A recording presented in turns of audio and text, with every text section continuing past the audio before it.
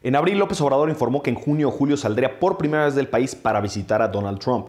La noticia causó algo de revuelo ya que Trump no ha sido muy amigo nuestro. Recordemos que el año pasado Trump impuso la política migratoria de México al amenazar con aranceles sobre productos mexicanos si nuestro gobierno no aumentaba el control de su frontera sur, cosa que López Obrador cumplió rápidamente. Pero hoy Trump le está pasando muy mal. Estados Unidos es el país con más muertes por COVID-19 en el mundo. Hay más de 40 millones de desempleados y las protestas contra el racismo incendian al país.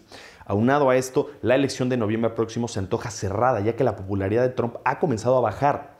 Por lo mismo, ir a Estados Unidos en estos meses es ayudar a Trump, es cometer el mismo error que hizo Peña al invitarlo en 2016 a Los Pinos. Tal vez lo más prudente esta vez es esperar a ver quién será el próximo presidente de nuestro principal aliado. Porque si vamos y después gana Joe Biden, la relación AMLO-Biden va a comenzar con el pie izquierdo.